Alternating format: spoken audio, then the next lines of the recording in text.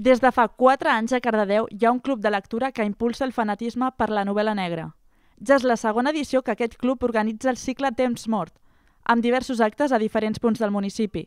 Un dels protagonistes d'aquest any és l'Stephen King, amb una tertúlia sobre Carrie, la seva primera novel·la publicada. Va ser un èxit rotund des, de, des dels inicis de posada a la venda. Uh, va tenir molt d'èxit, va agradar molt, era una novel·la molt impactant tant pels temes que toca com, com perquè tractava una adolescent, una noia, i perquè de seguida va ser portada al cinema i això li va quedar un renom molt important i a partir d'aquí la seva carrera va ser bastant ràpida per pujar. Igual que, que hi han referents uh, clàssics no? com Lovecraft, Poe, uh, Mary Shelley o Shirley Jackson, per exemple, que són referents per ell, eh, diguéssim que en l'etapa contemporània ell està, uh, si no igual, estan en un nivell en el que ha sigut un referent per molts dels escriptors.